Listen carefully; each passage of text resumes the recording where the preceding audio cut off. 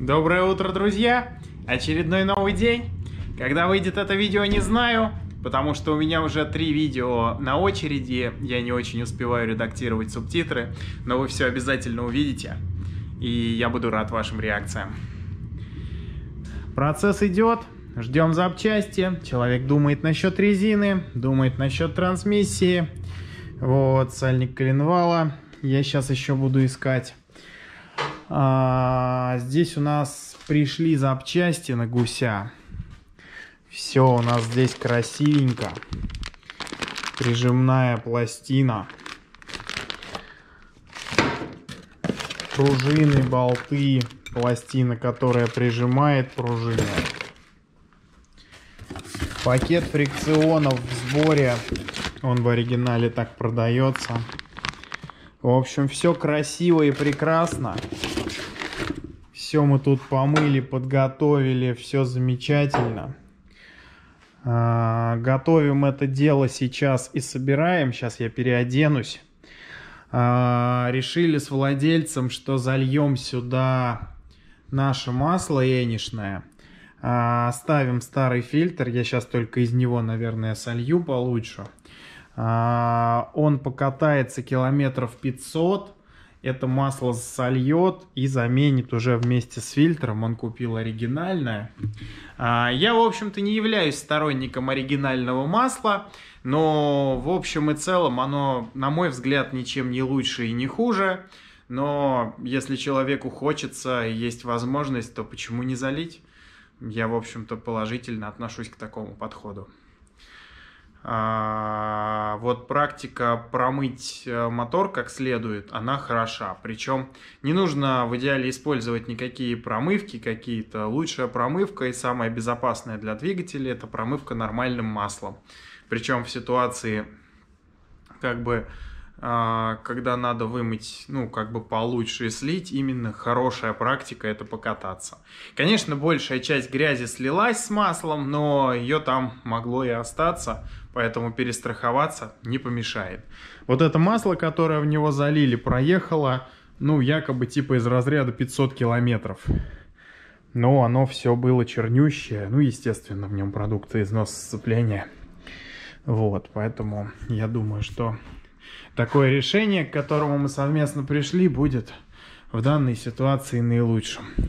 Сейчас я все это дело затяну по мануальчику. Все моменты, все красиво, нанесу герметик, соберу. Ну, а вам уже покажу, наверное, готовый результат. Потому что работаю я сегодня один и не до съемок, если честно, в процессе. Но попробую сейчас, если будет настрой. Итак, Перед началом сборки необходимо диски сцепления фрикционные вымочить в масле. Я вот тут отмыл с внутренней стороны банку, куда мы масло сливаем. И замачиваем диски, не жалеем.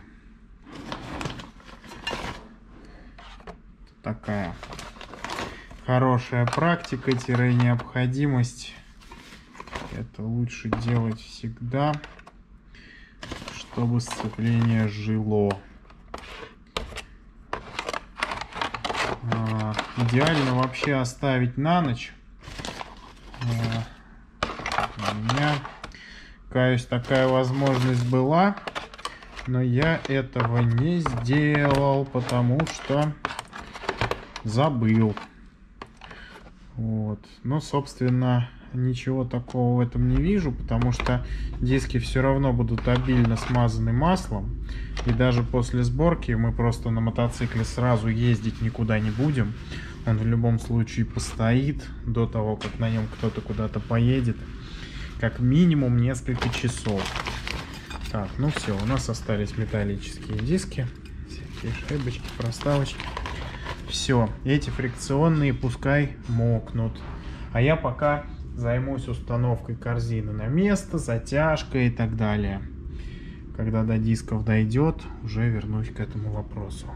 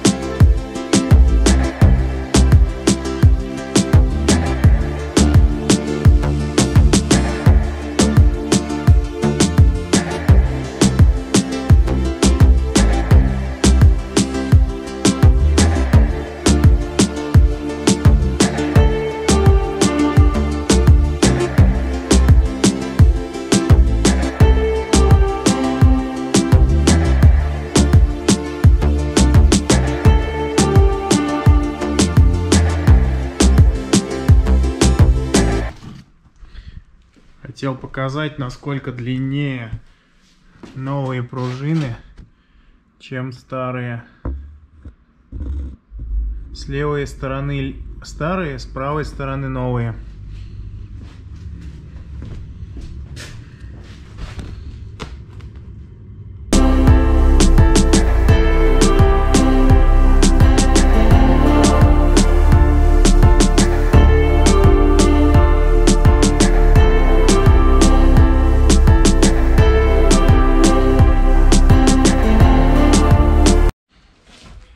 Итак, друзья, я пытался снять для вас контент со сборкой сегодняшнего дня. Не знаю, посадил весь аккумулятор на GoPro, что получится, посмотрю. Вот, но даже если это не получится, то а, у меня для вас есть интересная история. А, собрал я, значит, сцепление на гусе.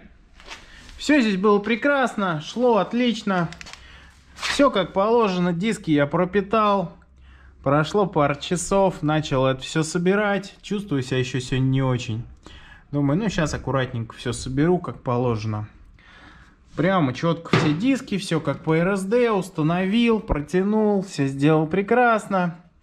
Ну, вообще, вот идеально, максимально, насколько возможно. Пружины сравнил, они, кстати, значительно длиннее. Вот. А, затягиваю все это дело а у меня что-то не так.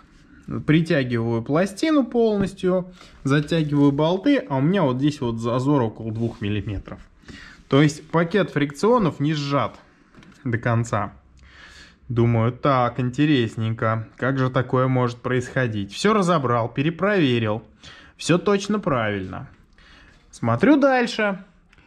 А вот этот вот шток, который отжимает нажимной диск, он у меня не входит туда. То есть не продавливает рабочий цилиндр сцепления. Соответственно, он всегда выжат сюда. А, я такой думаю, интересно. Думал, думал. А, ничего умнее не придумал, чем снять рабочий цилиндр сцепления. Вот. Короче говоря, а, вот у нас рабочий цилиндр висит. А для этого надо снять стартер.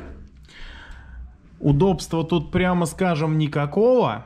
Это прямо лютая наркомания. В общем, пытаюсь прожать поршень напрямую, то есть исключить проблему со штоком. А он не прожимается. Ну, он должен прожиматься пальцами. Там просто неудобно. Вот, вот у меня снятый цилиндр есть от гантели. И вот он прожимается вот так, когда пустой. Ну, когда система заполнена, чуть потяжелее, но все равно, то есть одним, максимум двумя пальцами его можно вдавить. Вот, я попытался вдавить цилиндр геббельсами через проставки. И он как бы вроде, ну, пытается вдавиться, но усилие какое-то лютое для этого требуется. Я начал размышлять, позвонил товарищу, посоветовался. И он мне дал такой совет проверить. Во-первых, штатный или во-первых, проверить штатные ли рычаги. Оказывается, были случаи, что по причине тюнинных рычагов люди убивали сцепление. Но рычаги в нашем случае штатные. А, ситуация следующая. Вот он штатный рычаг. У него есть регулировка для пользователя, ручка ближе, дальше к рулю. А, ее как бы можно крутить без последствий, все нормально. А есть тут еще вот такой вот винтик, который вот тут вот стопорный залит краской. А вот тут вот еще маленький шестигранник. Его можно тоже отрегулировать ближе дальше, ну якобы. Вот. И вот эту регулировку никогда нельзя трогать. Потому что э, если ее утопить чуть глубже и свободного хода не будет, то обратный клапан на машинке сцепления перестает срабатывать. И жидкость перестает возвращаться назад. Что происходит? А, соответственно, при а, возврате а, штока остается какой-то небольшой зазор. Сцепление буксует и очень быстро умирает. Это крайне печально, потому что, по всей видимости, возможно, еще японец это дело накрутил. Там явно видны следы, если присмотреться, что на краске есть повреждения. И явно из-за этого умерло два сцепления. То есть мы это дело демонтировали рычаг, и сразу же цилиндр начал работать пальчиками, как положено. Сразу все проблемы решились. Так что будем это собирать уже теперь завтра. Вот. Ну, вот так вот иногда можно вынести себе мозг на ровном месте. Сейчас начну собирать, потом поеду учиться. Сегодня, наверное, домой чувствую себя плохо, заболеваю.